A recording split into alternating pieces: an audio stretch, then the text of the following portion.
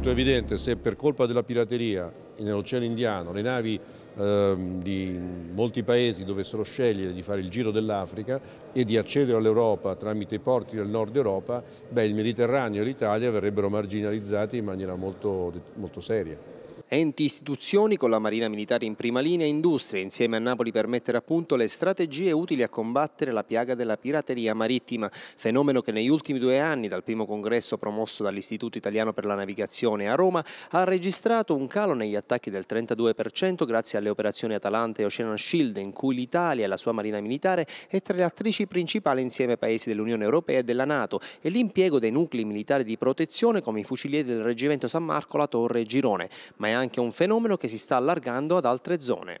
Ci sta una zona nuova che è il Golfo di Guinea, eh, Abidjan e via dicendo, però ovviamente quella classica è il Golfo di Aden, ma soprattutto che praticamente adesso la distanza è tale che non è più legata al Golfo di Aden ma arriva fino a Dubai, quindi è diventata una zona incontrollabile. Qualunque cosa che ostacoli la libera navigazione è un argomento di estremo interesse che noi dobbiamo affrontare. Dall'incontro di Napoli sono emersi nuovi scenari ed è partito il progetto di un osservatorio sulla pirateria per il Mediterraneo. Noi vorremmo lanciare un osservatorio permanente, se possibile, sul Mediterraneo insieme con la Marina Militare e con le altre forze che ci hanno dato una mano per osservare il fenomeno, per riflettere sui dati economici e politici e per dare anche possibilmente un contributo alle possibili risposte. E dalla Marina, prima tra le marinerie ad assicurare l'attività di deterrenza nel 2005, il rinnovato impegno per la salvaguardia dei traffici e dell'economia che si muove sul mare, confermata dal capo di Stato Maggiore ammiraglio Giuseppe De Giorgi. Eh, il ruolo della Marina è quello storico di protezione della Marina mercantile, quindi una forza abilitante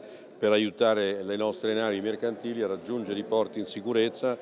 per tutelare e per dare forza a quello che è il cuore poi alla fine della nostra attività economica che è un'economia di trasformazione, quindi noi abbiamo bisogno di esportare, esportare con sicurezza le nostre merci e ricevere il petrolio di cui abbiamo eh, bisogno tutti i giorni.